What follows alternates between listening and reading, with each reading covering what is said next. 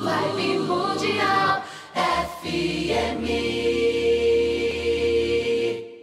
Boa tarde, boa tarde, boa tarde. Como sempre digo também, boa noite, bom dia, até porque esse, esse, programa vai ficar gravado nas plataformas e você vai poder é, absorver conhecimento ouvindo a qualquer hora, a qualquer momento.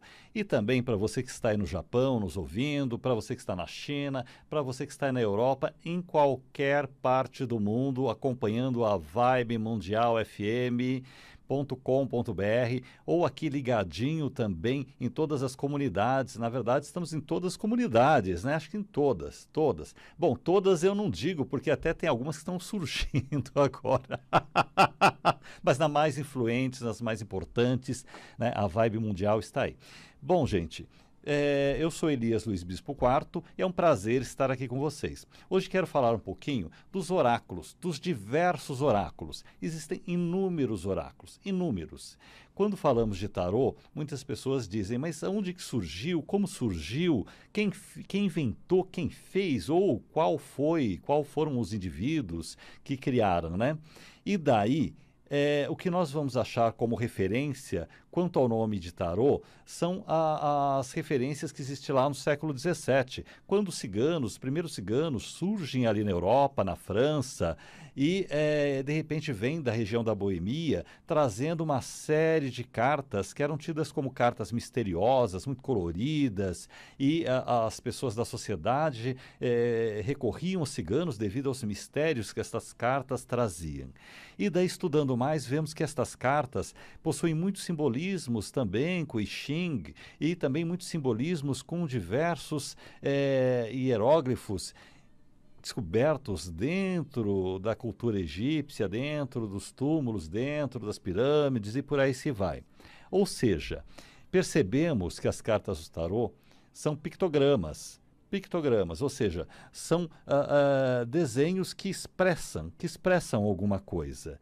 E uh, os indivíduos dotados de magia percebiam isso e daí colocaram nestas cartas. E daí existem os números das cartas, porque o tarot também é numerologia, então está ligado à numerologia cabalística e esta numerologia cabalística eh, tem a ver com o nosso corpo, tem a ver com os números, ou seja, como no ocultismo clássico, né, a matemática oculta da humanidade. Então, a numerologia que hoje em dia é tão é, alardeada é, na verdade, a matemática oculta a matemática oculta que, que expressa os conhecimentos magísticos ocultos. Mas eu tenho que tomar cuidado para não ficar me aprofundando muito, senão vocês não entendem. O que é importante, gente, é assim: o tarô ele tem a ver com cores, tem a ver com números, ele tem a ver com cromoterapia, com cromodinâmica. Por que cromodinâmica? Porque nem tudo é terapia. De repente eu estou jogando tarô ali para ver o que, que meu filho anda fazendo, o que, que ele está fazendo, com, com quem ele anda uh, se enturmando, se envolvendo vendo, né? O tarô também ele pode ser fofoqueiro. Então, gente. né? Vejo que nem todo mundo procura o tarô como o tarô terapia ou tarô terapêutico, nem todo mundo procura os números para adquirir autoconhecimento, para se conhecer mais, melhor. Né? Muitas pessoas buscam para entender uh, qual o procedimento do outro, qual a posturação do outro. Inclusive, um grande ocultista que é, é que era o Cornelius Agripa, ele utilizava muito a numerologia para saber como era a personalidade das outras pessoas, das pessoas que eram simpáticas a ele e antipáticas também. Tá? E assim também uh, como Eliphas Levi e diversos outros ocultistas. Né? Então veja, a numerologia, é, o tarô e todas as ciências mânticas, elas nos possibilitam fazer o quê? Entender muito mais sobre nós mesmos e sobre o mundo que nos cerca. Então, todas estas é, ferramentas mânticas tradicionais, seja tarô, numerologia, quirologia, ou grafologia, um monte de logia, né, gente, de estudo. Mas vamos trocar um pouquinho desses estudos, porque tem as mancias. De repente você não quer estudar coisa nenhuma. Você quer pegar a mão e já saber se essa pessoa vai ser a pessoa boa indicada para você casar e ter três filhos, né? Então você quer mais é, a quiromancia, você quer a cartomancia, você quer as mancias, né? De repente você, Elias, deixa esse negócio de logia um pouquinho para lá. É claro, gente, que o programa é muito rápido, eu vou brincando aqui também, né? Mas, ou seja, o que é importante é você entender que as diversas vertentes mânticas, elas funcionam para que nós possamos expandir mais a nossa consciência em relação a nós mesmos ou a algo que nos cerca. Então, de repente, eu tenho uma empresa. Será que essa empresa vai dar certo? Será que é o caminho certo? É, será que eu estou aí? De repente, você pode jogar um opelê, você pode jogar, de repente, o rosário. Tem vários rosários, gente, que são jogados. Qualquer dia eu trago aqui, que o programa é muito rápido. Né? Eu precisaria de um programa mais ali de uma hora e meia, pelo menos. Mas, ou seja, de repente você joga ali o rosário e ele vai trazer várias informações. É, o café, o chá, não é só café, gente. O chá, teimancia, né, pode ser vista. E os sinais? E os sinais aéreos, a aeromancia. A aeromancia tem a ver também com as tempestades, com as nuvens, com os ventos. O que será que quer nos dizer quanto ao planeta, quanto ao Brasil? as tragédias que estão ocorrendo na Ásia, na China, as grandes cheias e também na Europa. O que será que isso tudo quer nos dizer?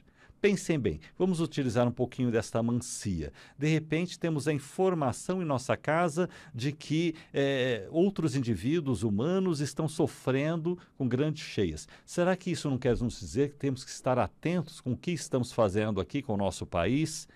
Será que isso não quer dizer assim, olha, fique atento, você está no verão, fique antenado com o que está acontecendo em seu país. Será que de repente a gente não anda queimando muita matinha, não, gente? Será? Né? Pois é, gente. Bom, é, se você quiser marcar consulta comigo, tá? anote o telefone. Estou atendendo online, gente. Estamos numa pandemia e online eu posso atender pessoas do mundo inteiro. Então, anote o telefone: 11 2831 0633, 2831 0633, também 97473 7269, 97473 7269 e o WhatsApp 99747 8673. 997478673. E é claro, você já tem o telefone da Vibe Mundial, já tem alguém na linha. Então já vou atender quem está na linha. Só o primeiro nome, tá bom, gente? E o local de onde vocês moram. Alô? Alô? Com quem falo? É Maria. Maria de onde? É Zona Sul, Jardim Ângela. Zona Sul. Qual a sua pergunta, minha amiga? Então, eu queria que você desse uma olhadinha para mim. É, se vai sair meu, a minha pensão que eu estou aguardando desde 2016. Olha, minha amiga, sai sim, só que infelizmente está mostrando que demora um cadinho mais. Ai, meu Deus. Se eu fosse você, e outra coisa, tem demora aí, tá, tá demorando por conta do seguinte, você está precisando de uma limpeza espiritual, tá? Então, enquanto você não vai fazer mesmo, né? É, mas se quiser fazer, eu já passei meu telefone, tá bom? Eu vou te passar um banho aí para ver se abre logo seus caminhos, tá? Eu gostaria que você fizesse. Posso Uhum. passar? Um banho baratinho, Pode. tá? Olha, você vai pegar fumo, fumo em corda. Compra aquele fumo já picadinho, cortadinho, tá? Você vai fazer uns, põe lá dois litros de água no fogo, põe uma colher de sopa de fumo em corda. Daí você vai colocar também ah, um pouquinho de aroeira, a planta, a erva chamada aroeira e a erva chamada abre caminho Hum. Vai fazer o chá, ferveu, com esse chá vai tomar banho do pescoço para baixo, não vai lavar a cabeça não, pescoço para baixo, mentalizando o dinheiro, que abre seus caminhos, que vem esse dinheiro, que desenrola a vida. E você vai tomar esse banho eh, durante nove dias seguidos, tem que ser seguidos, aproveita que está na lua cheia, já vai tomando nove dias seguidos. Por que isso, amiga? Porque na verdade você sempre teve mediunidade, sua família toda tem mediunidade, inclusive de vez em quando você tem impressão de ver vulto, às vezes vê mesmo de verdade, às vezes vê umas estrelinhas. Estou falando verdade? Uhum. Então, então precisa tirar, sabe o que que é?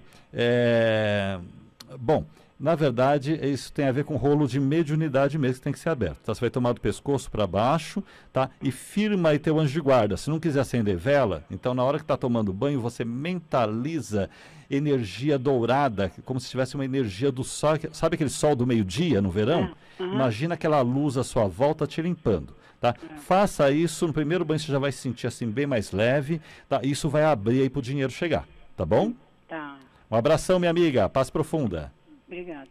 Tá? Pois é, gente, né? Então, é, é, de repente, sabe, gente, eu não vou ficar falando para ela fazer consulta, né, é, de imediato, porque se ela fizer esse banho certinho, você já vai abrir esses caminhos dela para isso que ela está precisando e rápido, né? Porque está precisando com urgência. Quem está aí fechando o caminho dela, né? Então são diversas entidades, né? São diversas entidades familiares que estão fechando o caminho. Tem um pouco de mentores e guias também que não foram trabalhados, que não se desenvolveram, né? Que estão atrapalhando a vida. Então com esse banho aí vai desenrolar o caminho dela, tá bom? Vibe Mundial 95,7. FM. A rádio que